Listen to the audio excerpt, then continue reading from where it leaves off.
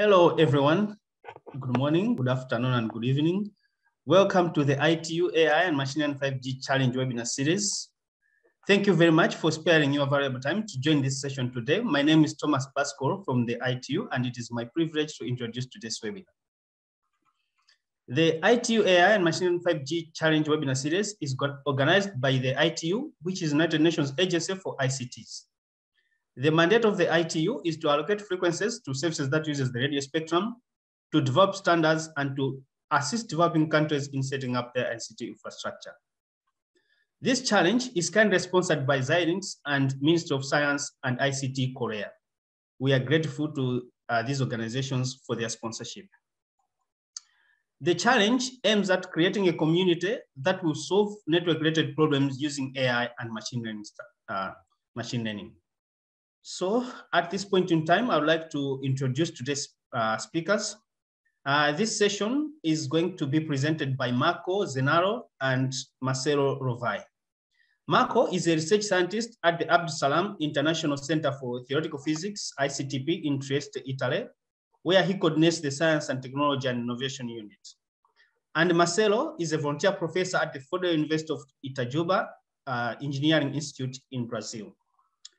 Today's talk is about TinyML, which is the intersection of AI, machine learning, and IoT. So I would maybe ask Marco is going to give the bits and introduction of what TinyML it is. This is an interesting topic. It's a new technology that will enable machine learning right next to the physical world. So I would give uh, this time uh, to Marco to introduce. So welcome Marco and Marcelo. We are grateful to have you for the for the, this webinar and it's over to you. Thank you very much, Thomas, for the introduction. Uh, it's an honor to be here and thank you for the invitation. So I'm Marco Zennaro from the uh, Abdus Salam ICTP and I will cover the part about IoT. So you see how IoT meets AI, and then Marcelo will follow up with the part about TinyML. So let's start with the IoT part by looking at the definition. If you have read about IoT, you know that there's many definitions and people consider the IoT in different ways. But if we follow the recommendation of the ITU, ITU T 2060, the definition is the following. The IoT can be viewed as a global infrastructure for the information society, enabling advanced services by interconnecting things based on existing and evolving interoperable information and communication technologies. And the focus here is on the infrastructure. So with the ITU definition, IoT is about setting up a network of devices. In fact, if we look at the definition of a device, of an IoT device, the ITU defines it as a piece of equipment that has the mandatory capability of communication. And then there's some optional capabilities such as sensing, actuating, data capture, storage, and processing. And some devices also execute operations. So the point here, according to this recommendation, is that devices must be able to communicate to be part of the IoT. So in other terms, any device that can communicate can then be part of this huge network, this huge infrastructure. This IoT has some fundamental characteristics, and I would say that maybe the most important one is the enormous scale. So again, if you have read about IoT, you know that we're talking about billions and billions of devices. And in fact, according to the ITU recommendations, the number of devices that need to be managed and that communicate one with each other will be at least an order of magnitude larger than the devices connected to the current internet. And also the ratio of communication triggered by these devices is much higher. So enormous scale. And again, if you have read about IoT, I'm sure that you have read about this number coming from a Cisco report saying that in 2020, we will have 50 billion devices. So I think that you know 90% of the papers, articles that cover IoT, they always have this number. They say 2020, 50 billion devices. So 2020 is last year. So have we reached this number? Well, not really. And this is another figure from, from, from the ITU, which shows not only the scale, but also the, the rate at which this enormous scale has been reached. So you see there's mainframes, really small volumes in long time. Then you have PCs, much bigger volume in longer time. Then you have you know, mobile phones, but then you have Internet of Everything, the, the, the pink line, and you see that that is really, really fast. So getting back to the numbers and some statistics, this comes from Statista, and they claim that in 2020, there's about 8 billion devices. So still a huge number. There's about 4 billion people on the internet right now. So IoT devices are, you know, twice that number. So that's large, but that's much lower than the 50 billion devices that Cisco was, uh, you know, envisioning. Another company, IoT Analytics, they have, you know, higher number, 12 billion devices. Still, you know, that's almost a fifth of the number that Cisco uh, had had predicted. So this is, you know, huge numbers, but not as big as we as we thought. What about the distribution? Well, as you can imagine, it's not really widely distributed. So this come this picture comes from a website called thingful.net that shows the uh, IoT networks that publicly publish data on the internet. And you see there are some regions in the world which are very high density. So Europe is completely, you know, covered by these blue dots showing, you know, IoT devices that publish data openly on the internet. If you move to the southern part of the world, as an example, the African continent, you see that there is dots, but not as many, and many regions are not covered. And the point here is that these regions are the ones which might need more devices. In fact, if we look at the SDGs, which we all know are you know 70, 17 development goals, many of them can be uh, you know accomplished by using IoT, or at least IoT can play an important role. Just two example, SDG 2, zero hunger. We need to produce more food. By 2050, we need to uh, you know, produce almost 500 million tons of extra food. And we can use IoT to optimize food production. So IoT in agriculture can be used to optimize the production of food. We're talking about climate change. So SDG 13, climate action. We need to have more data about temperature and about climate in general. And again, we can use IoT to get these new measurements. So the point here is that IoT has been, you know, growing at an incredible speed, but haven't reached that volume that we, you know, predicted, you know, 10 years ago. But still, they can be used for many of these applications that have a clear impact on society. So what can be seen as drivers and obstacles for IoT? Well, drivers, definitely the low cost of devices. So um, just, you know, in the last 10 years, the uh, cost of devices has dropped uh, significantly, both for the processors as well as for the sensors. The wireless standards, so now you can buy devices from different vendors and they all work together. So that definitely is a driver. And of course, ITU has been working in, in this field. But then when we look at the obstacles, well, definitely the lack of internet connectivity. So these networks still need connectivity to send data from the devices to the cloud, so to the internet. The lack of IoT infrastructure. So to be able to set up these networks, you need to have an existing infrastructure or you should be able to set it up easily. And that gets to the last point, which is a complex ecosystem. So if you look at IoT network, you need to have the devices, you need to have you know, the gateways, the cloud services. So it's quite a complex ecosystem. So I want to uh, finish this part by saying that maybe, given what you will learn from Marcelo in a second, this definition can be a bit simpler and can be in the following way. A device is a piece of equipment with capability of sending, actuating, data capture, storage, and processing. And some devices also execute operations. So with this evolution of technology and by allowing AI to be on really small devices, we don't really need to have these mandatory capabilities of communication. And that's all from my side. I will leave the floor to Marcelo to tell you more about TinyML. Okay. Thank you. Thank you, Marco. Thank you, everyone.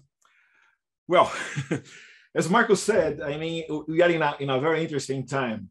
When you talk about, about IoT, it's important for us to, to, to think that, uh, that uh, we have all those billions of devices collecting data all over the world. And this was fantastic and was very important the, the, because this happened in, the, the last years, this capture of data. And this data, this data goes to, uh, let's say, usually you go to, to you know, we, we up this, correct? And work with that and create big models with a lot of energy, a lot of infrastructure, in a lot of complex in infrastructure. But what we can starting to see now with uh, TinyML is a return to the to the to the edge. Or what I'm talking about is once you have this model trained or created in the cloud, we can spread this model to do the inference, to use the model together with the devices, together with the things inside the physical world. So this is TinyML. So going a little bit more in this kind of a, a definition. So what's really TinyML? So TinyML, first of all, is the fastest growing field that we see in machine learning. Machine learning, we are talking about uh, AI, yes. Machine learning is a subfield of AI. So when we're talking about artificial intelligence, machine learning is the piece of uh, uh, in, uh, artificial intelligence that's trying to go into that huge amount of data, extract, extract from that data some some meaning, some feature, something that uh, unique for this type of data. Okay, and inside machine learning, it's another another word that we listen a lot is deep learning. That's a special part of machine learning that uses neural networks that try to emulate our our neurons here in, in our in our in our brain. And deep learning is very suitable working with the big data. That's exactly the amount of data that's generated by those devices. Okay, so having machine learning uh, that's using data, we need you need to have you know hardware, software, a lot of algorithms that all this together, okay, is capable to do analytics inside the device.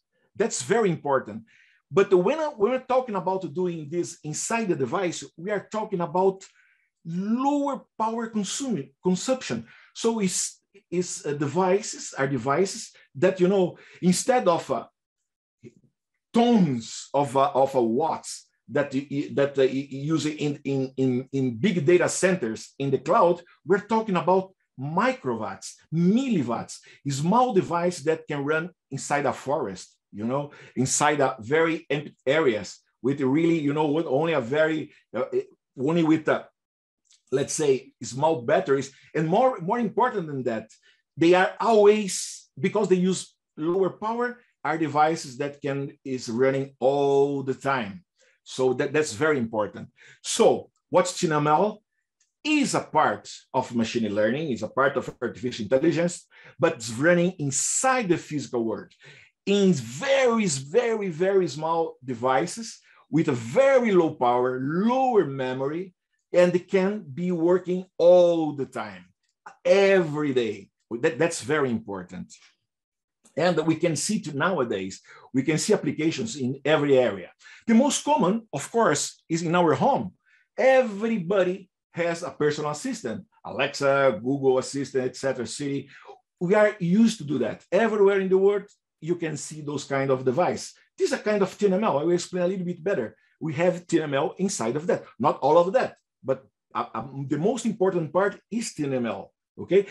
We can also see this in offices nowadays using, using camera to open and to, to start light or, or, or turn off lights, for example, or in industry. And when you're talking about industry, you're talking about much more than machinery. We're talking about huge, huge new, new world where TinyML can be found. Nowadays, we saw TinyML, for example, using for uh, uh, preventive maintenance. I can have remote machine machinery that you can have small small devices running models that can that can feel if a machine if a machine is not working properly. And so so only when when re i realize that the machine is not working properly i can you know turn on some kind of a communication device. And only that part i can use more power to send that kind of information. Or even to let's say to to turn on some device to to help manage that situation on local without any type of communication. So we're talking about the, doing something specific without the communication. That's very important. We saw this, for example, in logistics nowadays. You can track, you know, containers all over the world with the devices inside the goods and see what's going, going on.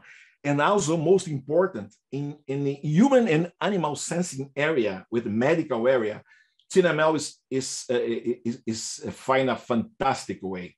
For example, I can show you to, to the left, you can see, for example, an experiment that you are doing in, uh, in, uh, in our university in Brazil, for example. Those are students that uh, they have developed a ECG monitor for atrial fibrillation that, you know, you can use a few dollars, $50, $40, something with a very, very low cost. We can train, train train a model in the, in the cloud with a lot of data. But when we have the model trained, we have techniques to shrink the model, put the model in very, very small devices, like very, very small, small device, like small microcontrollers. And you can and, and, verify if a, if a person has a problem in, in, in, their heart and can go send these people to, to the doctor with a very, you know, a very low, low, low cost. The same you are seeing this kind of um, of situation happening in Africa nowadays, for example, try to save animals. There is a project, it's Elephant Edge. All those uh, you can see, we, we, I think that you guys can have access to the, the presentation. You can see the, the, the links. Uh, you, can, you can go there and see what's going on in, in those projects. Nowadays, for example, we are trying to saving elephants in Africa, analyze their behavior with movements or uh, capturing their sound uh, understand how they communicate, helping with the image to see if a, if if a, if a hunter is is in the same area, something like that, and all of that at the elephant, inside the elephant, let's say in a special kind of color. So this is important. So we are not using communication. Okay. So again, all of this is only possible because we're talking about IoT. This is only possible because we're talking about uh, a lot of uh, things or endpoint devices that are here, you know, in, in our in our in environmental that uh, that capture those kind of information and go to the clouds. Okay, and when this happen, what we're doing is all this information in the cloud means data. And when we put together data and artificial intelligence, or using this data to run big models that's what we can really extract uh, from that is value, okay? And this is what we're kind AIoT or the, the, the mix of uh, artificial intelligence with IoT, when you can have this data, but not only the data itself, but when you use the data to run machine learning models to extract information from that. Perfect, but okay. But we are talking, we are here to talk about TinyML. TinyML is exactly that what we have discussed before, but doing the, the inference at the edge, or, or better, the edge of the edge, okay? Because we will talk, not talking about the edge of a, a network, but more than that, we're talking about the doing the inference at the same device that generate the data. So this is, this is, this is very important. And for example, suppose, okay, we know now that the, when we're talking about TML, we are talking about the intelligence or models that usually was trained here in the cloud now is spread all over the network. So let's suppose that you have one specific device here, a microphone, and I want to to work with that, uh, that device. So exactly like as, as, as I said before, we are talking about, uh, for example, uh, Alexa. How Alexa works. If I think, of, if I said before, I'm confirming now that Alexa is part of the TinyML, let's say, uh, universe. How this work? Well, this device is always on. He's working, but he's not connected to anywhere. You know, it's not, not sending information to, to the clouds. In fact, it's running here inside, but listen the environmental. And when someone, for example, say, hey, Alexa, what's going on is there is a small model here inside the device that will wake up. And in this case, you connect a huge, let's say, a, a, a bigger models in the cloud, in this case, in, in, in Amazon. And this model, in this case, starts to interact with the person. Oh, what's your name or what's the temperature? And some, in this case, we need information that are in the cloud. But the beginning of this process happened here, only here, was completely offline. And that's important. So TinyML, it enables machine intelligence right next to the physical world. Okay, and much and more than that. Okay, I can uh, avoid issues, as Marco explained before, like latency, power consumption, and also security. So this is very important for us when we're talking about you know areas when you don't have infrastructure. So I can I can use models that will run inside the devices with very low power and not need to communicate. So in this specific case, is to to wake up another device. I can use I, I don't need big infrastructure, correct? Perfect. And a little bit about, about technology. What we have here, in fact, inside those kind of devices are micro, microcontrollers. As, as Marco said before, what I experienced today is a lot of a powerful microcontrollers, powerful devices with a very low price. So in this case, for example, the family that we can see in, inside an Alexa is exactly the same that you can that, that you can see inside the, the most advanced or mid-level of uh, Arduinos, for example, a development board largely used by, by developers around the world. So in this case, it's a, a it's CPUs with a ARM Cortex M4. Doesn't matter what is this, but it's only you know powerful 32 bits, etc.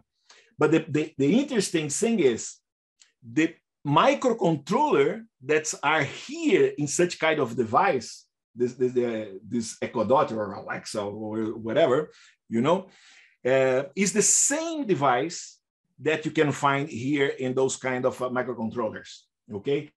And this is important because we're talking about, when I'm talking about this kind of device, I have more than one tier here. So we're talking about TinyML is the first part that's running by this very small processor here that they can only one task, listen the ambient and trigger a bigger solution, a bigger uh, uh, function, like you know, uh, uh start start connect, uh, turn on a radio to connect uh, with with um, with Amazon, and starts to send information, blah blah blah. But TinyML is what inside. It's the first thing that happened. So, what enables TinyML are the microcontrollers. And in this case, we're talking about small microcontrollers that you can find everywhere. You can find in my watch, for example, and you can also do uh, uh, ECG, for example, see my heart from my watch. I can monitor what's going on. If I, if I, if I fail, I can uh, set send an alarm because I have a model here that was trained to understand what's my normal behavior. And I change this kind of a behavior, he can send an alarm, for example. Okay. Uh, so size is important. We're talking about TinyML is, is in very small devices with low power. What fantastic! I can use batteries that during years.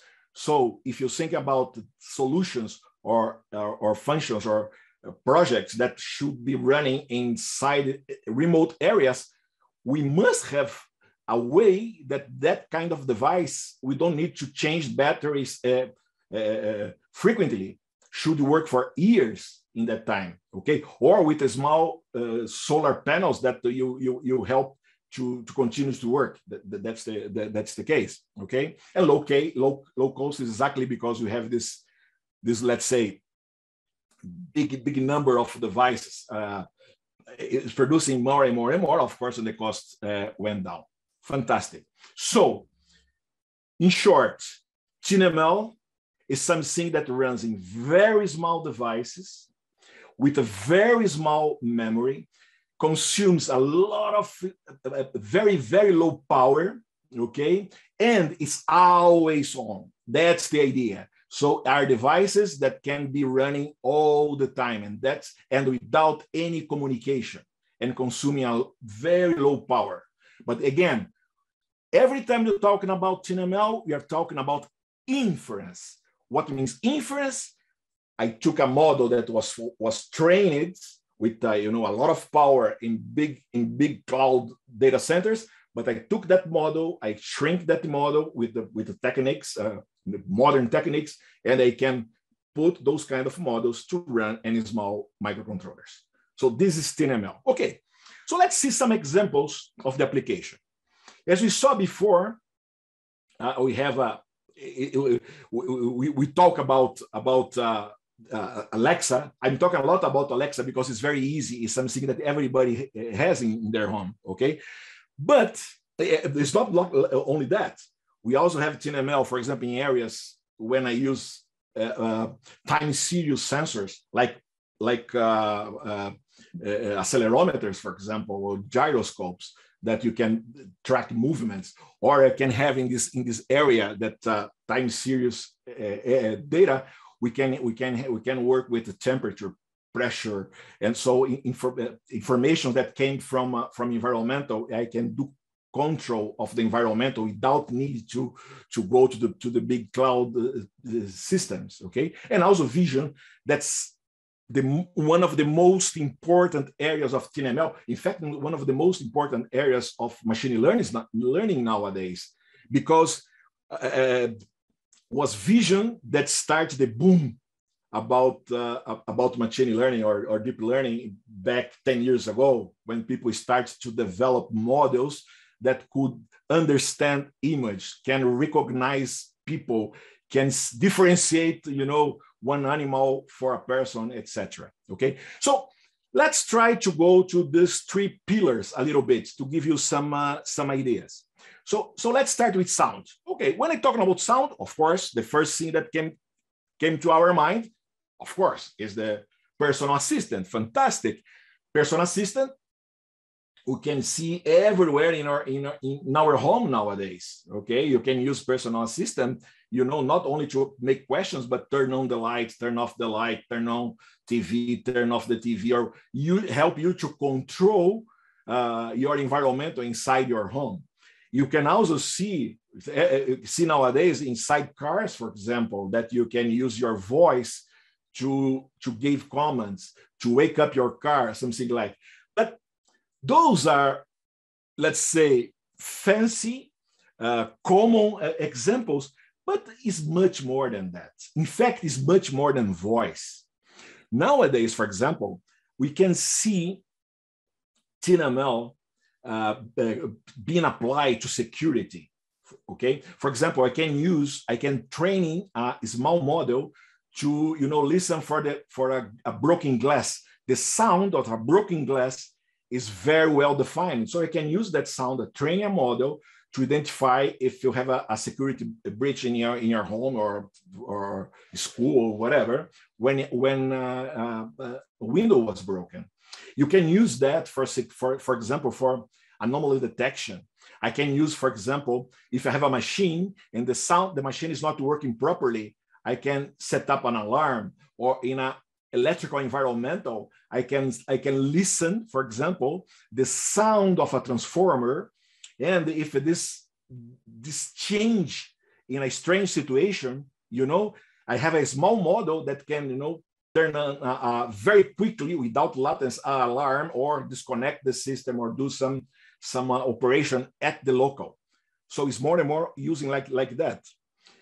In medical way, sound is very is using a lot nowadays. We are we during the, the last couple of years with the COVID uh, problem pandemic pandemic, we saw, for example, a lot of experiments with uh, toss.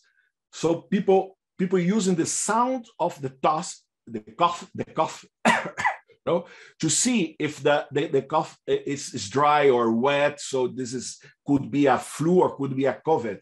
And you can imagine if you if I, if I can train such kind of model, I'm talking about a test that can do in a very low cost, and you can spread this this device for remote areas where we don't have money to go to the very fancy PCR tests or you know or such kind of thing or image big image tests. So this is very very important. Also, for example, when you are you are sleeping there is a lot of uh, a lot of problems with sleeping that you can only by the sounds when you snore or or or how you are breathing uh, you, you, you can control that or analyze if you have a problem or not and also set up alarms or or or, contr- or some controls completely offline only with the sound. In nature we are seeing more and more use of sound to control and help to control uh, for example bees Nowadays, there are projects that you can, by the sound, analyze if, for example, the queen is inside, you know, where, where the bees are or not. So if you have a problem there, you know, you have you have the sound of a normal normal group of bees are, are, are the behavior of, of, of, there. But if, if something happened or the bee is not the, the, the queen is not there or something like, you can also set an alarm. So this is very important because all over the world we are trying to save the bees, and TinyML is, is using to that. Also, for example, we are we are doing a project in ICTP with the, with the Dr. Marco Zennaro and his, his students, where, where we are looking for you know uh, uh, uh, insects like mosquitoes uh, the dengue mosquitoes, for example, uh, by the sound of the mosquitoes to classify classify them or to, to understand where they are, something like that, that. So it's important, okay? So sound, when I say TinyML, sound is a very, very important area, but not only this kind of a simple device in industry, medical, nature. So take this in, in, in mind, how many things you can do. Okay, Going to vibration is another, another area. Here, okay, the first thing that came to our mind, wow, fantastic. For, for vibration, I can, I can see in industry, as I said, see if a machine is working properly or not. No, but not only that, I can train, for example, uh, accelerometers here. My, you can imagine these are experience in Africa when you have cows, okay, and you can by the movement of the cow, I can you know took the, the, the motion of the cow and see, oh, this cow is is, uh, is, is, is walking, this, this cow is, is being feeding or resting, something like. So you can analyze and understand the cow behavior and you can pre preview if the cow is with a problem or not. It's not, it's not feeding properly or not the resting properly, something like that, okay? I said before, I only, I only pay attention again about the elephant project because you have you can enter here and then all the technical details if you want in this link you can for, for vibration not all, including I didn't mention, but uh, sound you can use also sound to understand how the, the elephants communicate between them. But uh, you can use here to movements when this elephant has a color, for example, to understand their behavior, if they are aggressive or standing or sleeping, and also you know you you capture data training that and after that you can take some some measures based on their their behavior okay? In transportation as i said if you if you move containers around the world if you have if you have here if you have small microcontrollers with uh, accelerometers i can i can capture the data and know what's going on with the goods. And i don't you don't need to send information by satellite or whatever I can only analyze that and instead to have tons of data, continuous data about the movement being sent, I have only, I can, I can store a small couple of bytes about, oh, this is, I'm a, use a forking lift or a, is a rail terrestrial, something like that. You know, only a few bytes you can you can have that information. in, in factory, we, we, we already talk about that. And about vision, I said vision is a fantastic and very important area for TinyML.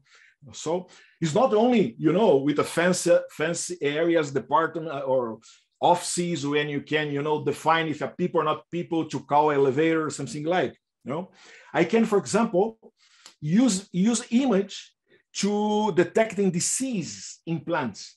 This, for example, was a project in Uganda when uh, by phone, we capture all the, the, the information or the image and you can, you know, training a model in the cloud. But that model, after after the, uh, we train, you can shrink, put back in the telephone. Is not TinyML itself because a telephone uh, is edge ML because telephone uh, smartphone use more more power, but we don't need communication. I can give the telephone for a not specialized person. That that person can use the telephone, the camera of the of a simple telephone, smartphone, and, and see the see the the the leaf is oh this is a bean rust, for example. And uh, even a, a, normal farmer, a simple farmer in very poor in, in, in simple areas can understand if their plant has a problem or not. There are several projects like that. We have projects with coffee beans in Brazil, other projects in other area in Africa with another type of plants. So, I mean, this is one area. Farm is one area that are seeing a lot of TinyML, a lot of TinyML. Equipments that have a system that capture imagine images and can define what's going on there in the, in, in, the field. So this is very important. Also, for example, nowadays is, is a big problem that humanity is suffering is, is, is the, the fire, forest fires, big fires. We saw in Amazon, in Brazil, in, not only Amazon, not, not only Brazil, but all the Amazonia in Brazil, in Colombia, Peru, Venezuela. We saw all that area. It's a lot of problem with fire in, in, the last couple of years, for example, and uh, in also areas in Africa and so on in, in, in Australia. And uh, with the TinyML, I can dev develop systems that you can, you know, looking for the, only looking for the image. So you have capture frames or from a, a video, analyze the frames of a video. We can analyze if there's a fire or not a fire, okay?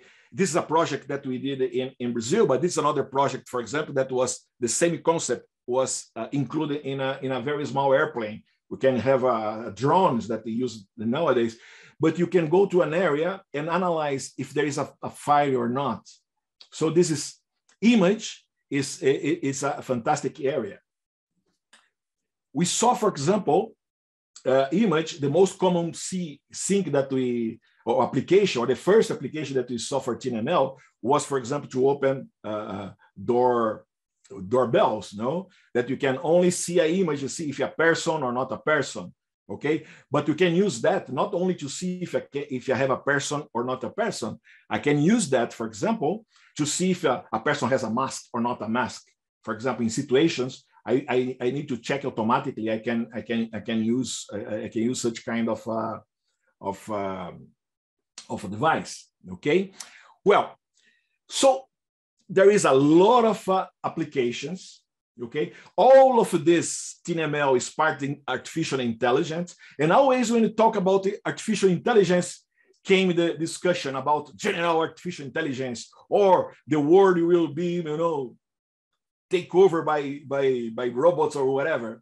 First of all, it's important that we we have always in mind, in a clear mind, that uh, general in artificial intelligence does not exist yet probably in the next 20, 30 years, or I don't know if this century, we'll saw a kind of a general artificial intelligence that can also be working in a small device. But the important is what we have today with machine learning and also with TinyML are dedicated applications. So we saw a lot of uh, image classification applications. We can have image detection also in TinyML. We have we're talking about sound recognitions that you can use that gesture motion recognition. We, we, show that example, anomaly detection. So all this in, in, in the TinyML uh, environmental. And to finish, I think it's important for us to have, have in mind that every one of those applications, every time that we work with AI, we work be responsible. AI should and must be something for good. There is not something like good or bad uh, or evil artificial intelligence. What we have is how the how they use that we do we do with that, and more than that, how we capture the data, even in TinyML, very simple devices like we discussed now, it's all important for us to have in mind that the bias is something that, that we must to avoid. If you develop a simple device like this one, you must be sure that I capture voices from men, from women, from children, people from America, from Africa, from Asia, so we can have, you know, the majority of the people, we have no bias. The same with the image, when you use the image for anything, you know, we must, we must use from everywhere. So take in consideration that the data must be with no bias, okay? And the model must, must be always think about with responsibility. So let's do it, okay? And uh, that's it, thanks, and uh, stay safe. Thanks a lot, Marcelo, for this quite interesting uh, intro, I would say, to tiny ML So, and also yes. thanks to Marco uh, for the brief overview of this field. So uh, this is quite an interesting field. I would like to go directly into the Q&A. Uh, Vishnu will take over and moderate the Q&A. So over to you, Vishnu.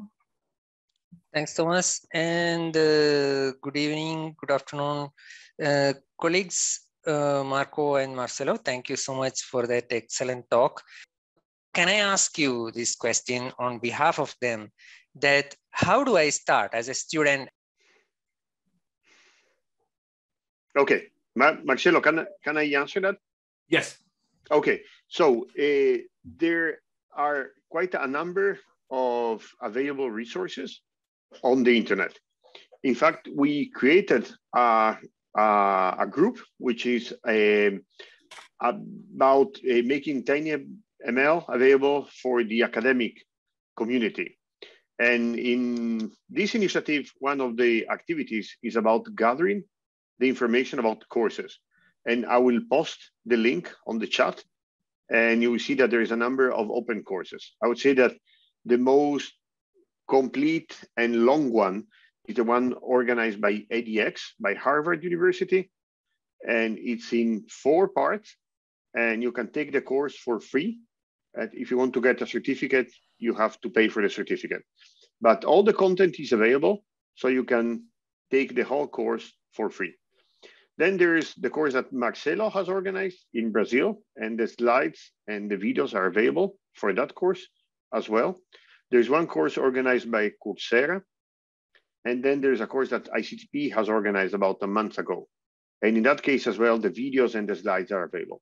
So I will post that information on the chat for the students in the group. Only to complement Marco, I think that one of the challenge of our group and TinyML4D is to spread uh, spread this knowledge uh, for the developing countries.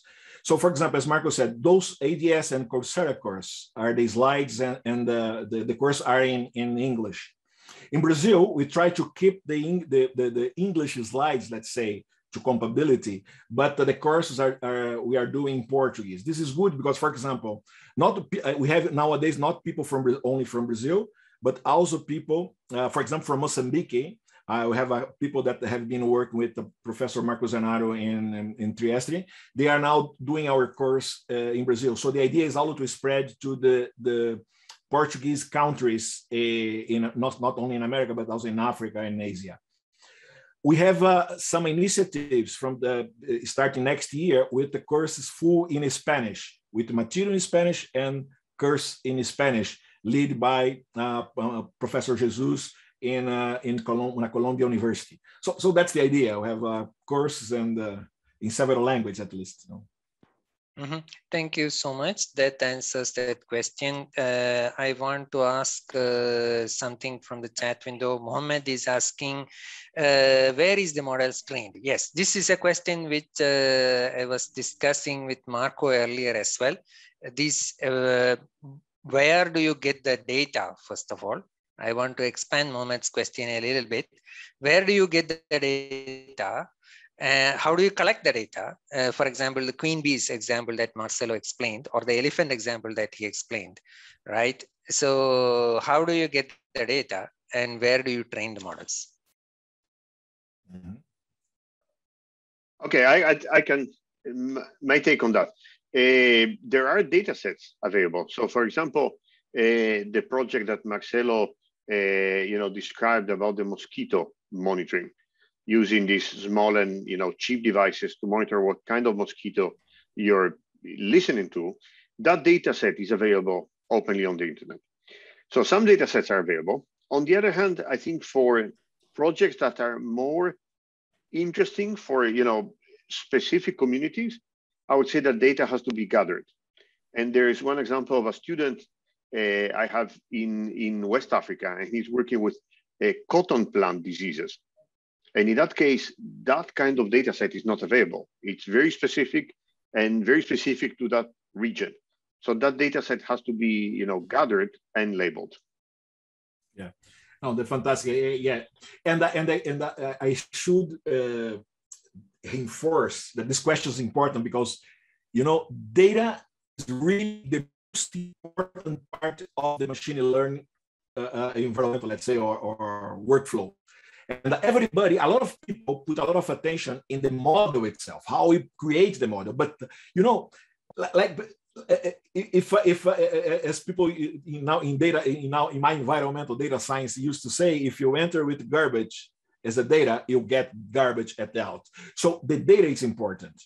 So uh, so uh, with a TinyML, we should we should have specific uh, data sets, and people are working on that when we work when we work for for for nature uh, or, or, new areas, like Professor Marco uh, said, for example, in this case with the cotton or with the bees, uh, uh, the bees example, the most part of the data should be collected locally. You also, when you have data that is avail available available at the internet, someone gets that and put that because and I and I encourage every one of you guys that are doing projects have your data available for others to use that. But also we can complement with my data because we need to have different data from different areas.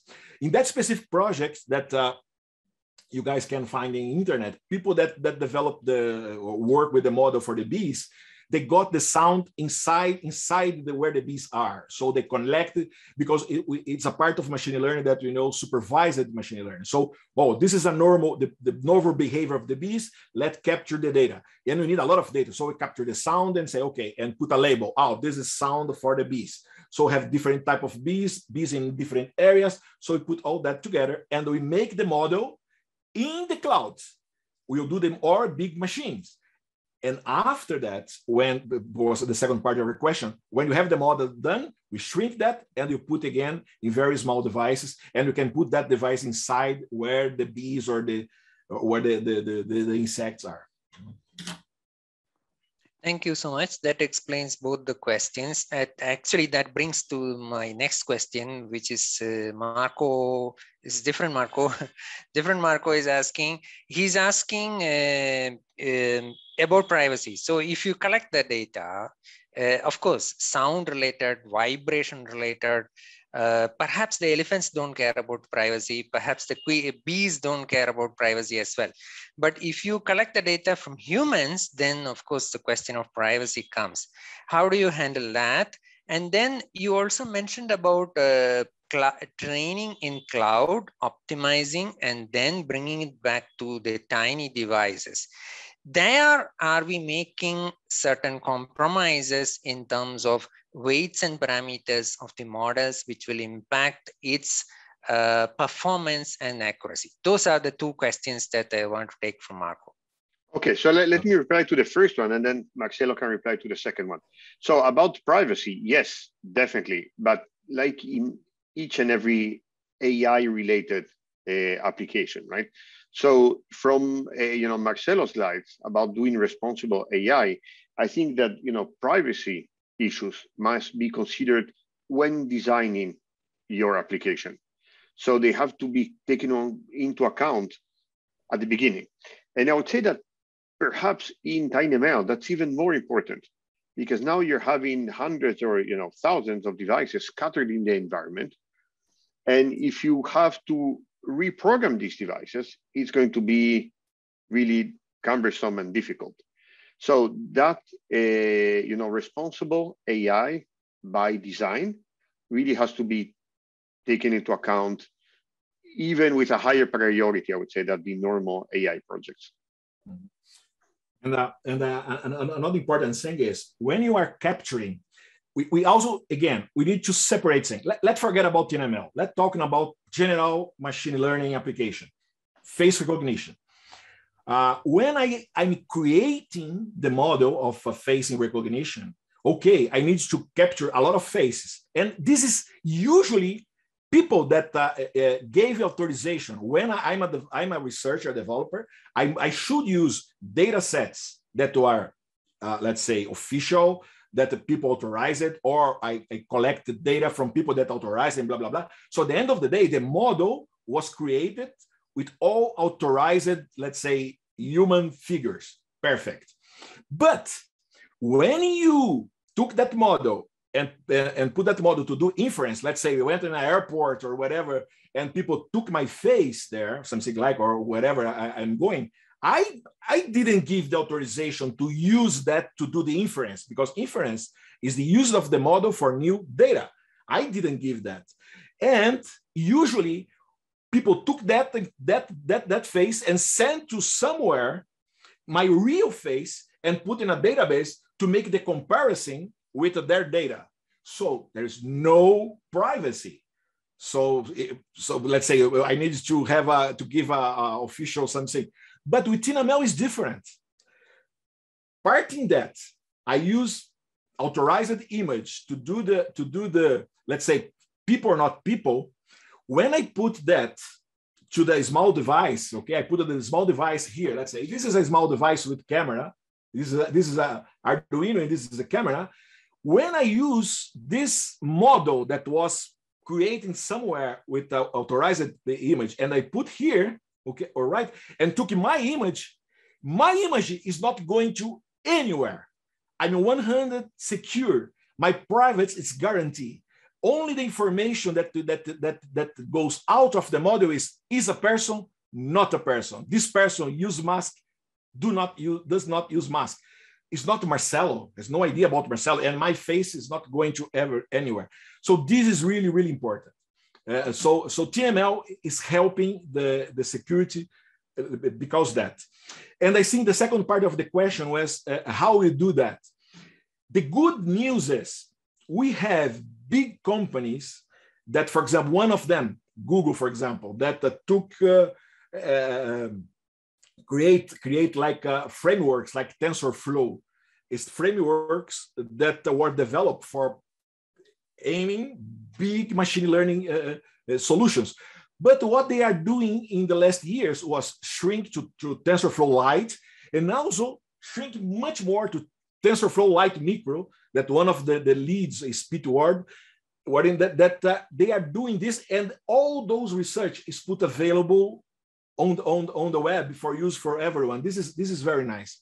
And companies, other companies like uh, Edge Impulse is a brand new company with a very young and bright guys, guys that came from big companies like Google or ARM, and decide to create uh, companies that can work all over the world with a lot of uh, a great part of their, their what they, they put available is completely free and open. You can use their cloud environmental, send your data, make everything there, get your model and use your model. And they are, don't matter if you use for commercial or not commercial, etc.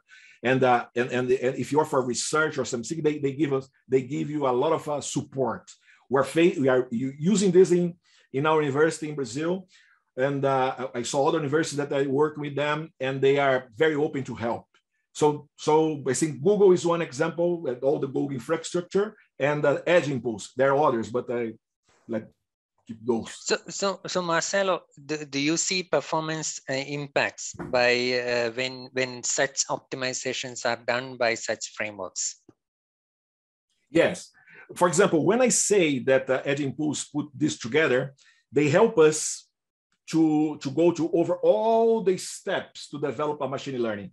They help us to took the data, to pre-process the data, to take the, to, to, to do the, the feature extraction, to model our model, okay? And after we uh, do the training, and after the training, analyze all the accuracy, all the F1s, and uh, and all the the the let's say the points that that that, that you can test if that, uh, my model is correct or not. And only and when uh, I'm okay with that, they help us to do the deploy that took that model that was already tested and uh, shrink it and and, and uh, put this in, in to be run in a, in a microcontroller and give to you an example. Yeah, understood. Thank you. Actually, that brings to the next question that is uh, on federated learning. I want to slightly enhance Marco's question with uh, maybe uh, techniques, privacy preserving techniques as well, because you mentioned sending of data, training uh, based on data. That's why I'm asking, does the federated learning mechanism have any role to play in TinyML? And if so, uh, should we look at privacy preserving mechanisms also in this context? I mean, I think uh, uh, it's a difficult question. I mean, because it's it's part of the project itself. When you do a project, you must you as a research you must guarantee that your data you have authorization to use your data. No, I mean you are the owner of your data, and you must not only authorization of your using the data, but also to to to have data that you really, really uh, uh, came from all, let's say, different possibilities. As, as I explained, I will do uh, something related to the voice, uh, some some project or a golf or whatever, and this voice should be, you know, all type of gender, all type of uh, uh, regional accent or whatever. So so we must guarantee that. And when you, you, you go and go to that those system to to be training, of course, when you sign with them, you have an agreement that they are not using that data because, of course, they will have access to that to that data. So you must guarantee that your data it's it's it's it's okay. Go there. They will not use that data. Okay, and uh, you training and uh, you return the model. I don't know if it is exactly the question, but I mean it, it's a kind of process, no? Vishnu, I, I posted in the chat a uh, paper about uh, federated learning for tiny ML my, my take is that these devices, as, as Marcelo said, tend to be extremely low power devices. And in federated learning, you need to have communication of some sort. So I think the research challenge is now how can you, uh, you know, have this communication in such a way that the device is still a low power device. All right. So the, yeah, I would, I would say that that is a technical challenge. Mm -hmm. Understood. There is some question on trust. Uh, I believe uh, I believe Marcelo's previous answer probably answers that question. Probably this is a bigger uh, point about data and trust, uh, which we can uh, discuss maybe later and maybe not directly related. Uh, that's my guess from what Marcelo was explaining just now. Let me look at uh, let me look at something more really interesting questions. Uh, what is your opinion about IoT and its application with devices that aims to be intra-body? So yeah, so we, we saw this uh, fibrillation example. Uh, you, you showed that picture as well, uh, photo of the student and the fibrillation example. Uh, with the ECG, I should say. Uh, what about uh, more intrusive techniques? I think the question Amina is asking is about more intrusive techniques within the body. uh, you know, there are several implants which are coming as well. So I guess the question is coming from there. No, yeah, I mean, this is a one of the huge areas that TinyML will, will, will explode, let's say. Uh, uh, we, we, we saw this kind of, remember, it's not really TinyML, but uh, what kind of it when you have a, a, a I don't know, in Portuguese is marca-passo, that device that you put inside your body to control your heart. No, it's like that. You have a sensor that see your heart. It's a kind of a mechanical and electrical thing that you try to keep your your your heart in a in a pace, no, in a pacer or something like. No, uh, uh, nowadays I can do that electronically. I can have uh, those kind of uh, sensors. Now I don't need the electrical or big stuff. It would be a very small know, millimeters uh, uh, uh, uh, microcontroller with a memory that you have a model inside. And this you can, you know, realize if there is a, a kind of problem, maybe he can uh, uh, open a, send a, send a, a medicine, for example. In fact, we have examples that they are using for uh, glucose, for example, on people that have problem with sugar. So you have implants. Nowadays, you can implant the, the sensors, and the sensors that is model that depend of the, the, the, the, level and the condition of the body, not only the level, but that, that's the point. It's not the one. Uh, so you can you can you can analyze, for example, the temperature, the, everything you and the and the that's the the, the, the fantastic thing. Your model has several inputs, and you can decide. No, I have put this kind of a medicine, and this is the amount to do with this this situation.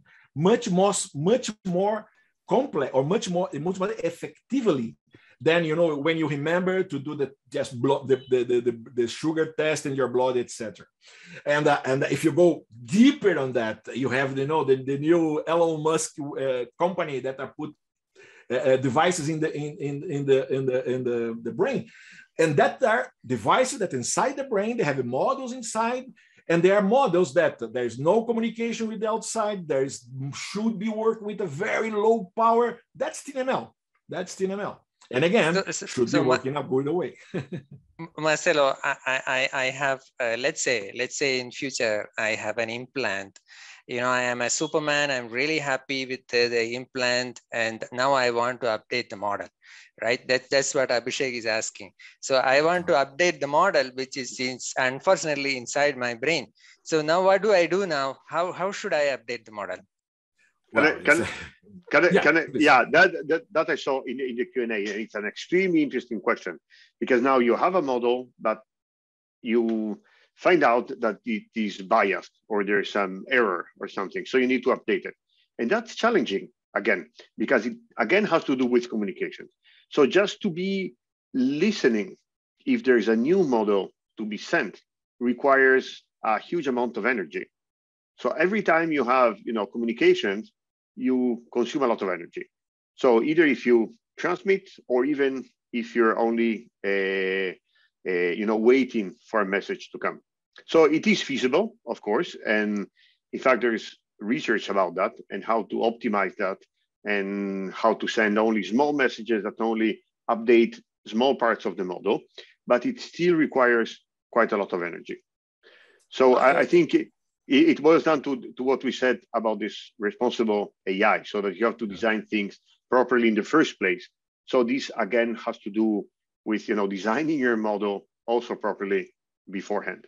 Marcelo, please. But, uh, yeah, no, no. This is a this is a, challenge because you, you have any every model has a leakage because the, the, the situation change. You know, a model, a model, uh, uh, uh not in ML, but a, a, machine learning model that was developed before the, the COVID era changed completely. People nowadays use mask; they didn't use mask before, etc. So it's a kind of a leakage. They say model leakage, etc. So model, data change, model change. So, so when you develop something, is only is only a machine learning model, and that applies apply to TinyML model also or, or environmental. When you develop such kind of thing, it's not only capture data in a good way, pre-process the data, develop the model, test it, and do the deploy. It's it's a cycle. When you deploy the model, you continue to measure or see the data nowadays where people are working inside the TinyML models is continuously I am I'm using in some cases the, the new data that's been captured to retuning the model, the IP parameters of the model inside the, the, the, the, the TinyML. Of course, it's much more complex. It's in a is, is in a study stage, but this is the future because as Marco said, it's a challenge. And it's a problem in any machine learning uh, project, not only. I think I see an opportunity. I, uh, you know, some of us, some of us claim to be experts in this area. I think the system design, right? System design is a very interesting field, especially if you have uh, really strict constraints like you are describing. This is a really interesting field. We should talk offline. But uh, meanwhile, there is a new customer here. Uh, I think this is a this is a new area for you. That is, uh, Bob is asking, do you work with artists? So now this is a very interesting field. I think, um, you know, Marcelo and Marco, you talked about different verticals. Uh, we saw health, we saw animals but uh, we haven't seen artists. So uh, are there models uh, how artists uh, can apply TinyML and uh, examples and so on? So would you like to comment, please?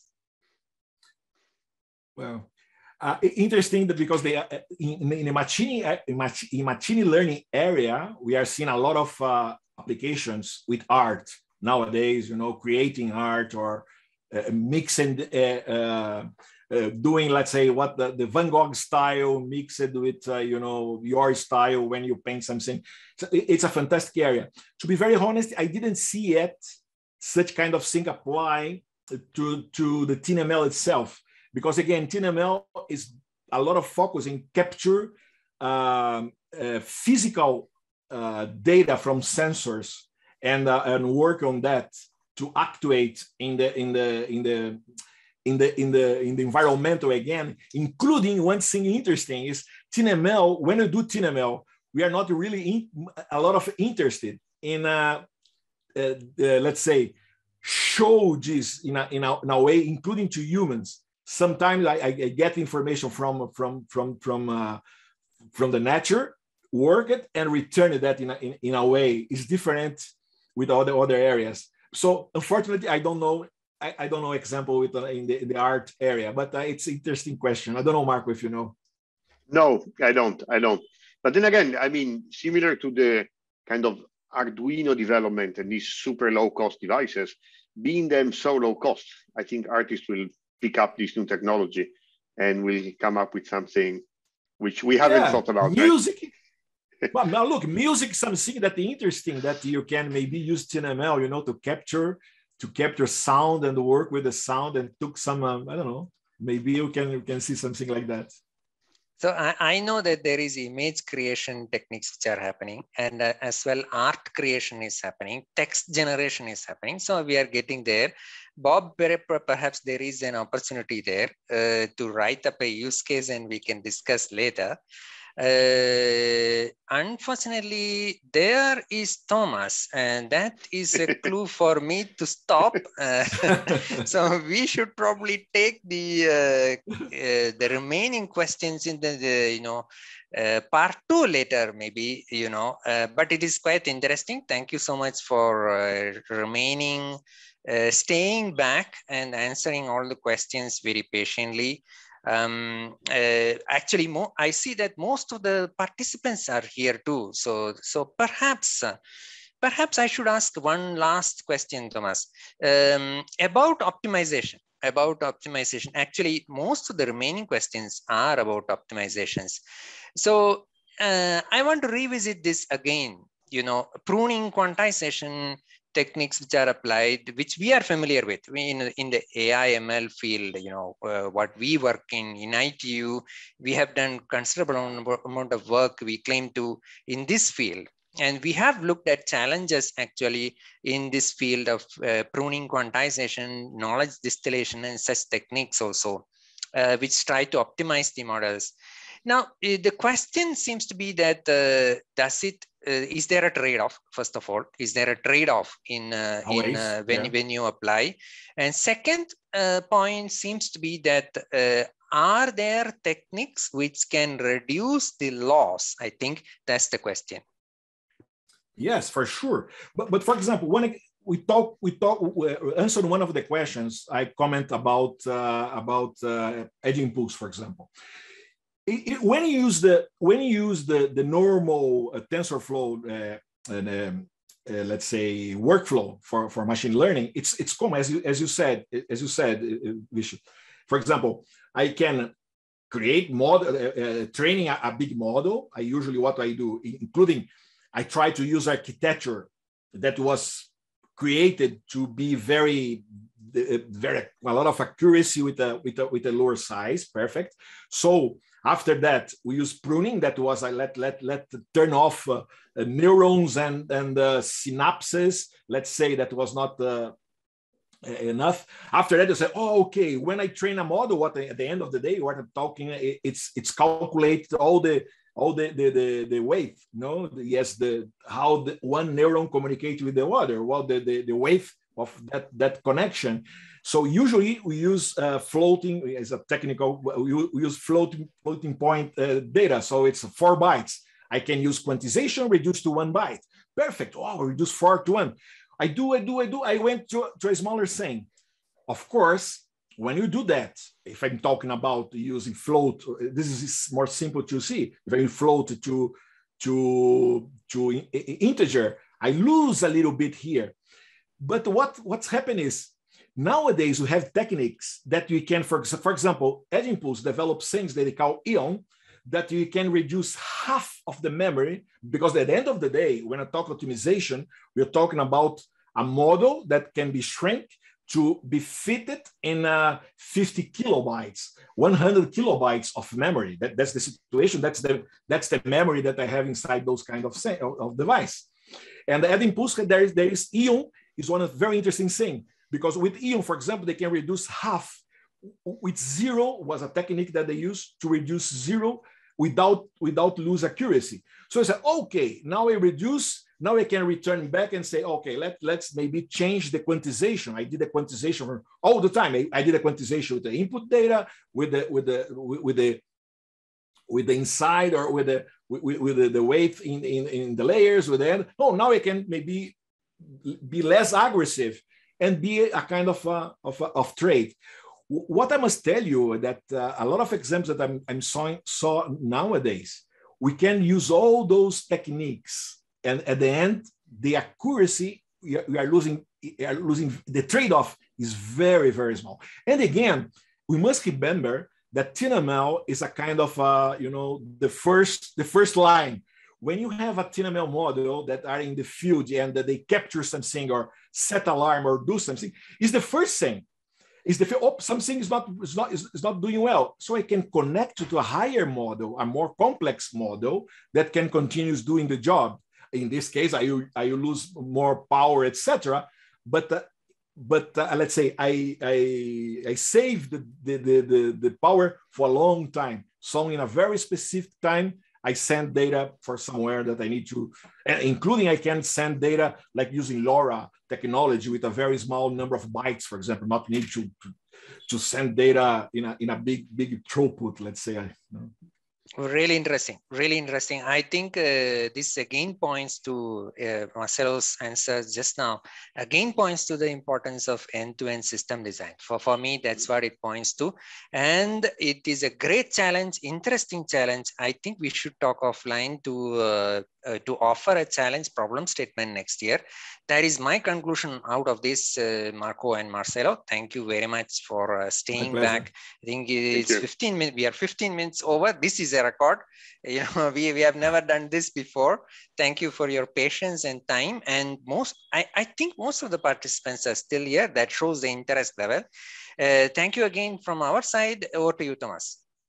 Thank you Thank so you. much, Vishnu, uh, for moderating the Q&A. It's quite a uh, very interesting discussion. I think uh, so much interest in this field. We can see several applications. We see applications that are fancy and we can see applications that can help uh, people in different parts of the world. So it's quite interesting. And I would like to reiterate what Vishnu said, that it would be nice to have this as problem statement in the next year. For more sessions, please uh, visit the AI for Good uh, website. You'll see more upcoming events. So from me and my colleagues at the ITU AI and Machine 5G Challenge, I would like to wish you a good day and bye-bye.